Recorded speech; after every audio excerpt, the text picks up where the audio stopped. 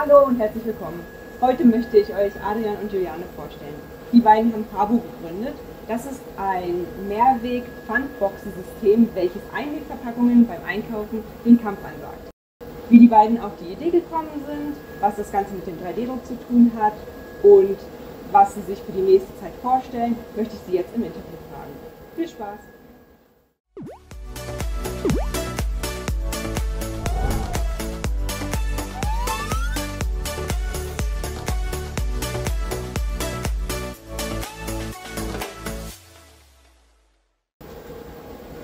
Ihr seid seit Juli in der Bio-Company mit ähm, Takeaway-Gerichten vertreten. Wie fühlt sich das für euch jetzt an? Also der Startschuss war auf jeden Fall äh, eine Aufregung. Also man kann es nicht anders sagen. Pure Aufregung. Wir haben uns natürlich gefreut darüber, dass wir endlich starten konnten nach der langen Vorbereitungszeit und der ganzen Entwicklungszeit und dem Prototypenbau und jetzt einfach mal loszulegen war auf jeden Fall eine schöne Erfahrung. Ja, ich kann mich dem nur anschließen. Ähm, es war super, super aufregend, also nach so einer langen Zeit dann irgendwie tatsächlich dann mal zu starten und auch das Produkt letztendlich, was ja mit dem 3D-Druck irgendwie mal angefangen hat, dann tatsächlich in dem Laden zu sehen und auch mal einfach in die Hände zu nehmen und verpackt und äh, befüllt irgendwie mitzunehmen. Also total spannend und aufregend bis heute.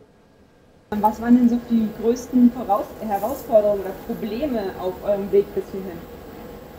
Ja, also nennen wir es wirklich mal Herausforderungen. Ne? Ähm, da gab es echt super, super, super viel. Ähm, ja, wir haben, wie gesagt, gestartet ähm, mit einem kleinen 3D-Druck, um einfach mal zu testen, wie ist der Verschluss, den wir uns vorgestellt haben, funktioniert der überhaupt so, wie es ging. Dann sind wir eine Stufe größer gegangen, haben uns erstmal nur den Deckel angeschaut, haben dann halt auch gesehen, ja, könnte in die richtige Richtung gehen und dann hatten wir letztendlich dann halt den ersten wirklichen Prototypen, den wir dann auch mal in die Hand nehmen konnten und äh, ja, das war, glaube ich, einer der größten Herausforderungen zum Anfang, die uns bis heute noch begleitet, weil wir sind stetig dabei, die Produkte immer noch zu verbessern. Also wir bleiben nicht stehen, es geht immer weiter, äh, sei es andere Größen oder ähm, die Verschlussthematik ist nach wie vor noch eine, eine Herausforderung, die wir gerade angehen.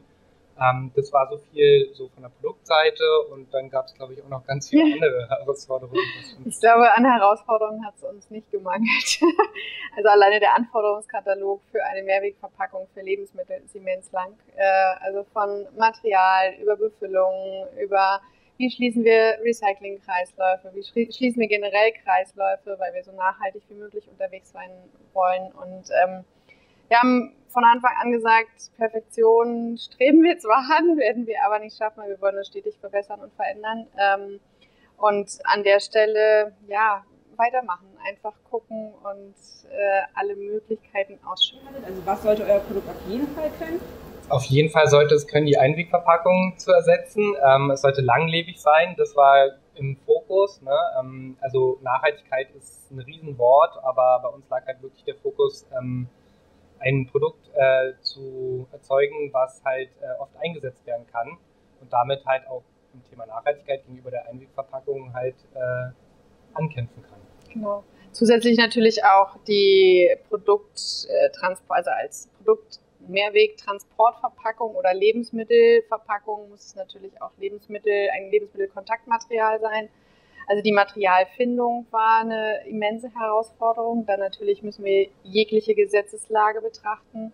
Gerade jetzt mit der neuen ähm, Verpackungsnovelle natürlich spielt uns in die Karten, dass da natürlich auch der Gesetzgeber sich verändert und ähm, nach vorne guckt. Ähm, aber trotzdem gab es äh, das Thema Recycling. Wir wollten in Deutschland produzieren. Ähm, es gab äh, ringsrum auch Anforderungen aus dem Handel heraus. Also welche Lebensmittel verpacken wir? Wie müssen die Größen sein?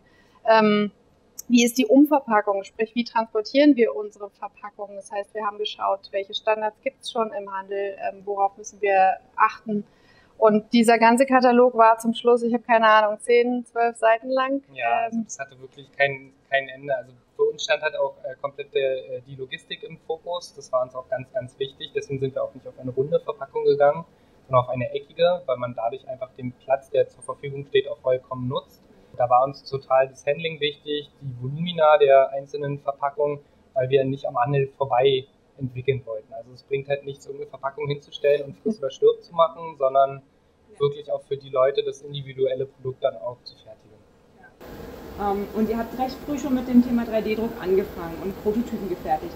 Was war so für euch der ausschlaggebende Punkt, dass ihr gesagt habt, doch, damit probieren wir das jetzt mal? Mhm, ähm, bei mir lag ja der Fokus in meinem Studium auf der Produktentwicklung und das ist natürlich ein super, super äh, tolles Verfahren, um einfach mal Produkte auch in die Hand zu nehmen. Ja?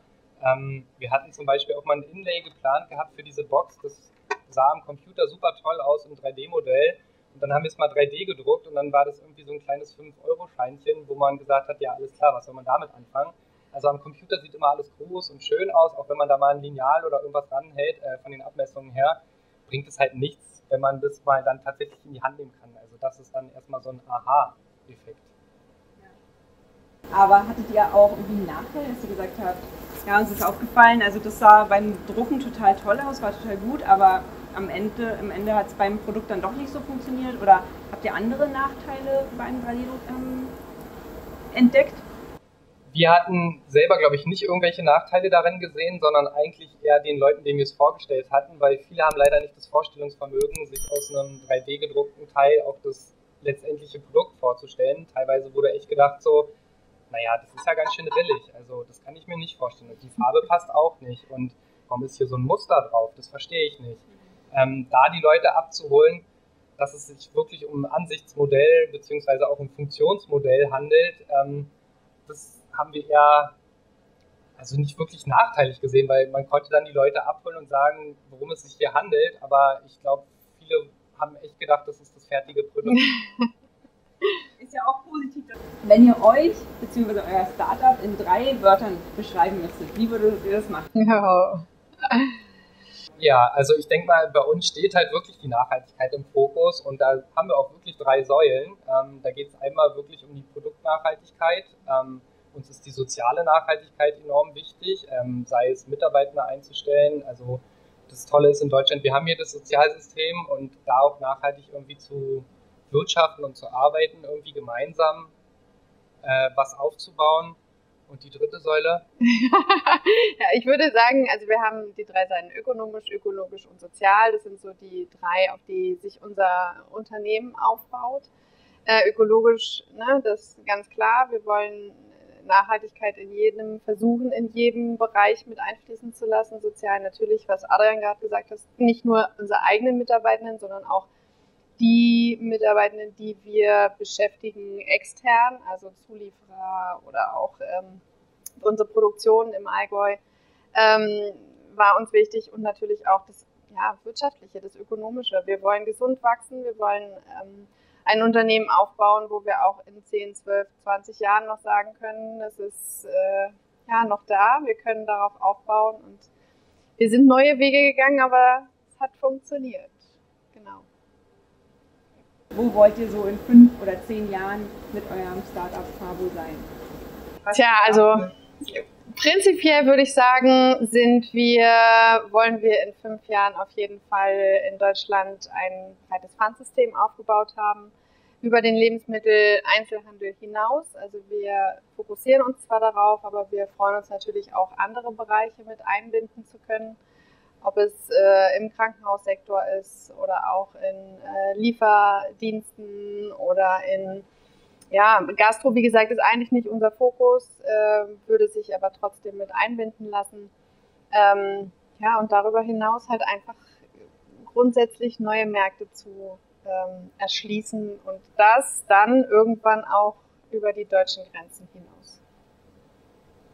Also wie gesagt, nicht nur den 3D-Druck, sondern auch so Specials wie man Aufsteller oder mal zu schauen, wie kriegt man sowas einfach auch, äh, wie sieht das aus, wenn es dann aus dem Druck oder aus dem äh, Laser kommt, genau.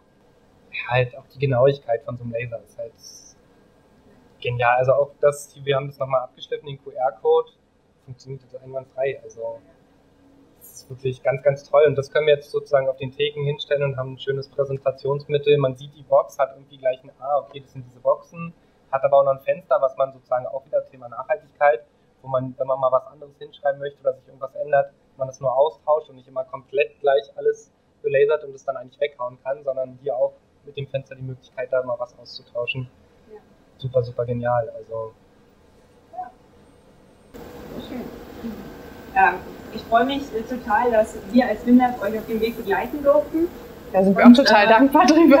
Ja, total. ähm, und im Prinzip so die Entstehung auch mitentdecken durften. Und das, äh, ja, ich finde das ein total spannendes Thema und drücke ganz so die Daumen, dass ihr da äh, weiter erfolgreich seid. Danke. Vielen, also, vielen das Dank. können wir wirklich nur zurückspielen. Ja. Also wir sind auch wirklich sehr, sehr dankbar, dass wir das hier alles so nutzen konnten und auch wirklich ähm, ja, so anfangen konnten, um das einfach mal in die Hand zu nehmen. Also das war für uns Gold wert. Also, ja. Dann, Dankeschön für eure Zeit. Vielen Dank dir.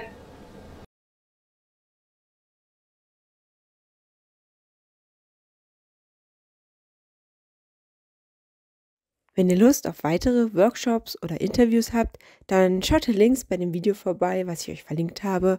Und wenn ihr kein Video mehr verpassen wollt, dann abonniert uns und aktiviert die Glocke. Bis zum nächsten Mal.